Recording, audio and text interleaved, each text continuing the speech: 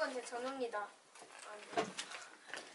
이 아이, 아이 대체 이거 왜 받아올까? 다시는 오지 말라면서 진솔하게 주는데 그럼 거절합니까? 아 이렇게 마음이 약한데 어떻게 전지 이제 아 알다. 저는 꿈은 없지만 춤추는 것에 관심이 있습니다. 저는 꿈이 없지만 그림 그리는 것에 관심이 있습니다.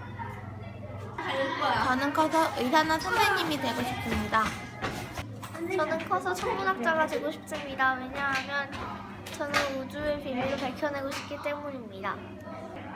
저는 커서 의사가 되고 싶습니다. 왜냐하면 사람들을 도와주고 싶기 때문입니다. 전 요리사가 되고 싶습니다. 왜냐하면 전 요리하는 것을 좋아하고 사람들의 입을 행복하게 해주고 싶기 때문입니다. 저는 과학자이고 어, 하고 싶은 일은 과학자가 되어서 어, 우주에 있는 자, 지하 자원이랑 그런 것을 캐내고 싶습니다. 비록 어, 이루기 힘든지도 몰라도 어, 저는 이 꿈을 포기하지 않을 것입니다. 저는 꿈은 없지만 운동에 관심이 있고 그중에 야구를 가장 좋아합니다.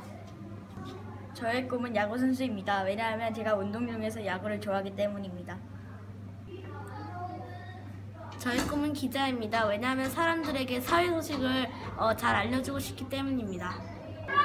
저는 방송 작가가 되고 싶습니다. 저는 야구 선수가 되고 싶습니다. 저는 생명공학자가 되고 싶습니다. 저는 의사가 되고 싶습니다. 왜냐하면 많은 사람들의 병을 고쳐주고 싶기 때문입니다.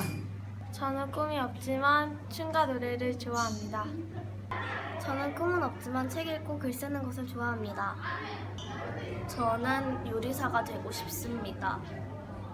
저는 커서 기자가 되고 싶습니다. 왜냐하면 저는 사람들에게 많은 정보를 알려주기 위해서입니다.